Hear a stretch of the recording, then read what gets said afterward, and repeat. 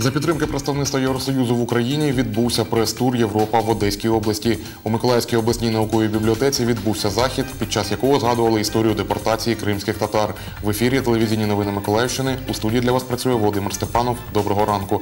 Протягом прямого ефіру на екранах ви бачитимете нашу електронну адресу, за якою зможете звертатись до редакції, а також посилання на наш Ютуб канал та сторінку у мережі Facebook.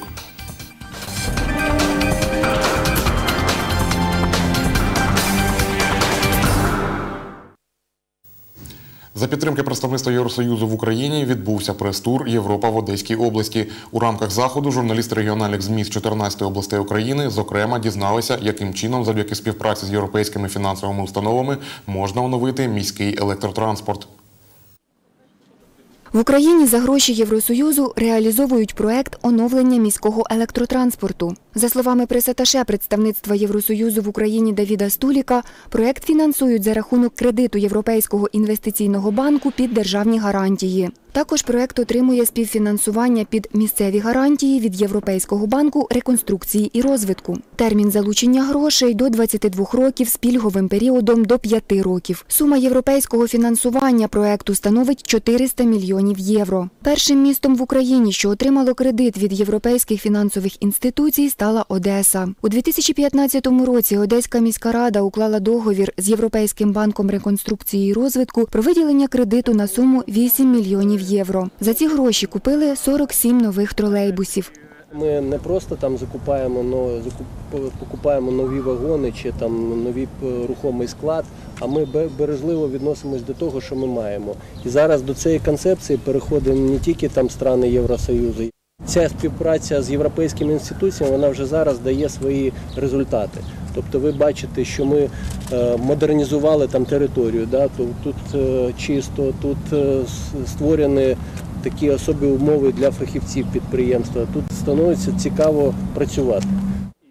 Нині за європейські гроші в Одесі впроваджують проект з оновлення трамвайного парку. Завдяки кредиту вдалося направити власні гроші підприємства Одес міськ Електротранс і гроші з міського бюджету на модернізацію рухомого складу.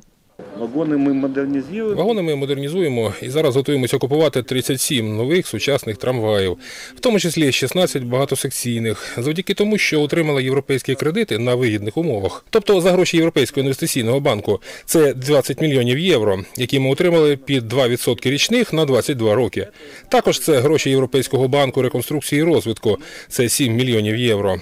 Йдеться про комплексний підхід. Тобто, завдяки європейському кредитуванню на вигідних для нас умовах ми проводимо системні покращення на нашому підприємстві. До цього таке оновлення рухомого складу робили в 1960-х роках. І на сьогодні Одеса є лідером з реалізації проєктів підтримки розвитку електротранспорту. Одеса перше в Україні місто-мільйонник, де ухвалили і успішно реалізують наймасштабнішу міську цільову програму розвитку наземного електротранспорту. Ми готові ділитися досвідом з колегами. За власні гроші підприємства, які зекономили завдяки успішній реалізації проекту, в Одесі відкрили єдиний в Україні музей, в експозиції якого є трамвай снігоочисник, поливомийний тролейбус, платформа трамвая початку ХХ століття. Тетяна Бакоцька, телевізійні новини Миколаївщини.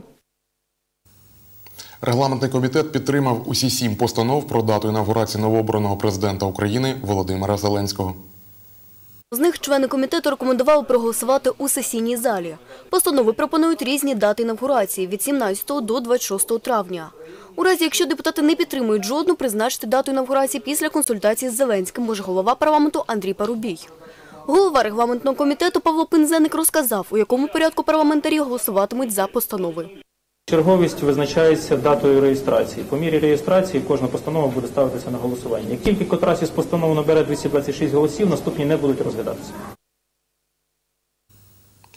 До 75-ї річниці депортації кримських татар у Миколаївській обласній науковій бібліотеці відбулась зустріч з Межідом Сулеймановим, кримським татарином. Під час заходу говорили про історію депортації від Катерини II до сьогодення.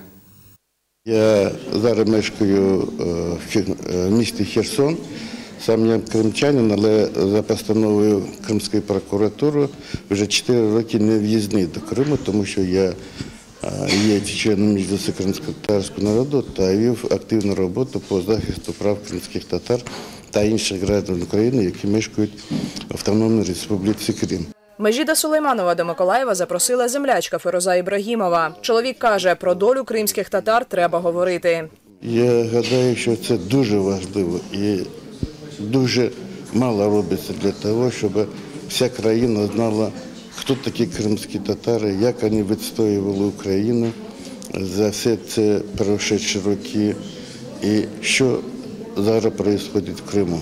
На зустріч прийшли користувачі бібліотеки, студенти історичного факультету одного з миколаївських вишів та представники кримсько-татарської громади.